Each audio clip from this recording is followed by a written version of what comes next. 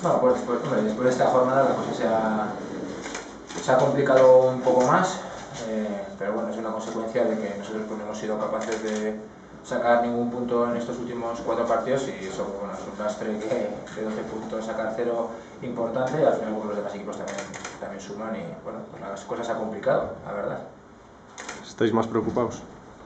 Bueno, yo creo que preocupados también estábamos eh, después de haber jugado contra el Barcelona y haber perdido. Sabíamos y éramos conscientes de que según cómo sería la jornada podíamos caer a puestos de descenso, de descenso, ya se ha ocurrido. Y bueno, yo personalmente pues eh, casi prefiero que sea así en estos momentos porque bueno, yo creo que, que ahora viéndonos ahí eh, ya ha llegado el momento de que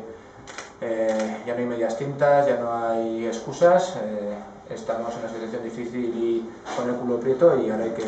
ya no hay vuelta atrás. Yo creo que lo que ha pasado hasta ahora hay que dejarlo, hay que afrontar estos cinco partidos como, si fueran cinco finales.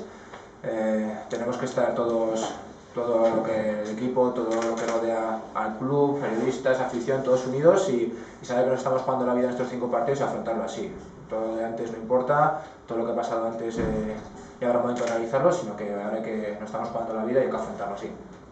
Un año más pues hecho, ¿no? Cuando toca dar la cara a un capitán a falta de 4, 5, 6 jornadas, es que se, vuelve a repetir una situación de los últimos años. Sí, bueno, pues por desgracia nos está pasando, nos está pasando eso, pero bueno, digo que, que lo que hay que estar unidos, hay que estar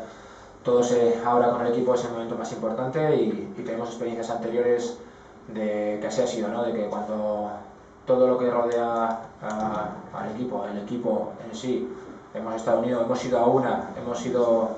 digo, hemos sido un equipo que hemos sacado de situaciones complicadas, esta lo requiere así, yo creo que todo el mundo nos tenemos concienciados, concienciados, nosotros los jugadores estamos concienciados y, y seguro que, que todo el mundo el domingo tenemos la primera final, hay que afrontarla así y, y el campo se va a notar y ya digo que se lo vamos a poner hasta el último gramo de nuestro esfuerzo, de nuestro sudor en el campo y, y con la ayuda de todo el mundo vamos a hasta adelante seguro. La diferencia de la situación